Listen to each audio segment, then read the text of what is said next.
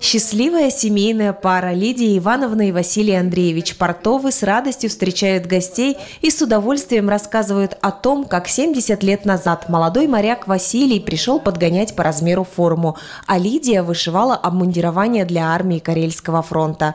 Так его и пришила на всю жизнь, шутит Лидия Ивановна. База у нас была здесь в Архангельске.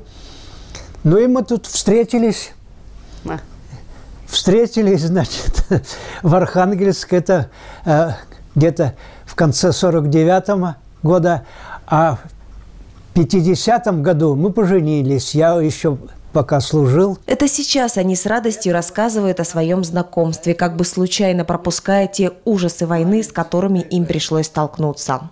Ну что из того, что мы годом не вышли, зато доросли до стандартов войны – а тогда, в 1944 году, совсем юным 17-летним мальчишкой Василий Андреевич ушел на фронт.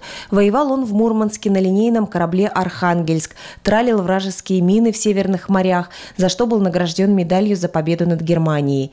А его жена Лидия Ивановна поступила в фронтовую воинскую мастерскую Карельского фронта, которая передвигалась вместе со штабом по освобожденным территориям.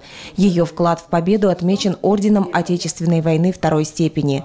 А когда война окончилась, закончилось, оказалось, что вчерашние мальчишки и девчонки только и умеют, что воевать.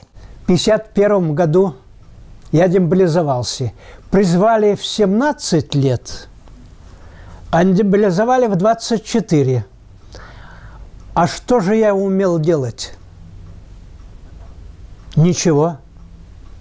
Я только умел воевать, как говорится, да, и тралил мины. Это тоже продолжение войны. Демобилизовавшись, Василий Андреевич сменил моря на реки и 40 лет отработал капитаном на речных судах в Архангельске, а его жена 27 лет проработала бригадиром в городском ателье номер 9.